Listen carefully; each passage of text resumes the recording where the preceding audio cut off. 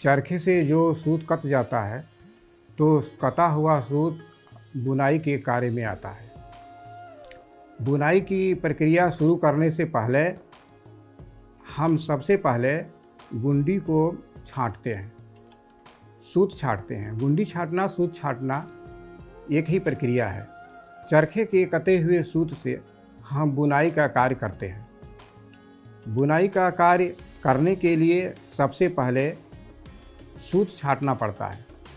सूत छाटना इसलिए पड़ता है कि सूत जो है, कटा हुआ सूत, उसमें नाना प्रकार की दोष पाए जाते हैं।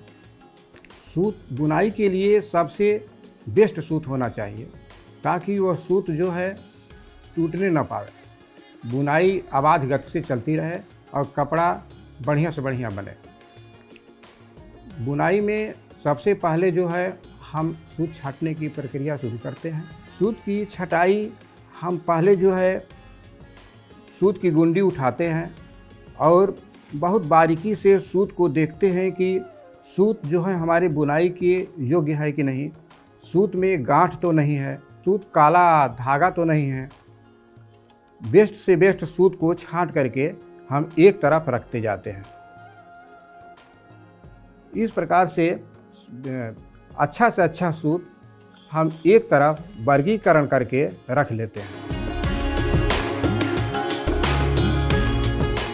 सूत बढ़िया से बढ़िया ताने के लिए होना चाहिए।